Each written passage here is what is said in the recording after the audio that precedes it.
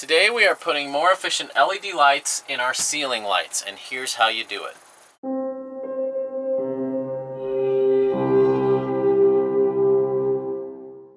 Step one, reach under here and you'll start to see a little spring emerge. We've got a spring that's about to come out. Careful you don't snap yourself with that. Once that one's out, the other one just pulls right out.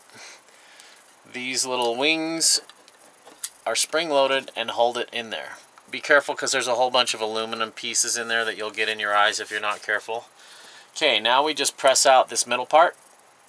Pop. I can put this back in.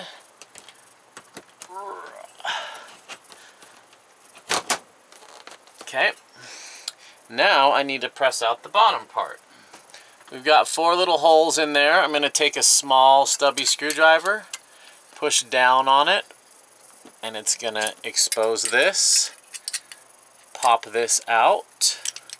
This is glass, be careful. And there's my bulb. I can just pull it right out. And this has these little tabs. Pop it right back in. Now we're going to replace that bulb with an LED light that's far more efficient. I'll put a link to this in the description below. Then we take our glass cover, and this is the only tricky part of the whole thing. There's these two big slots here, and they go opposite these little screws. So you just line those up. Boom! Bob's your uncle. Now we have LED lights that use a lot less energy and they give the Airstream a nice clean look. We prefer the warm white LEDs instead of like the surgical white that just makes everything, it's actually kind of harsh on the eyes and it's really bad for filming in here.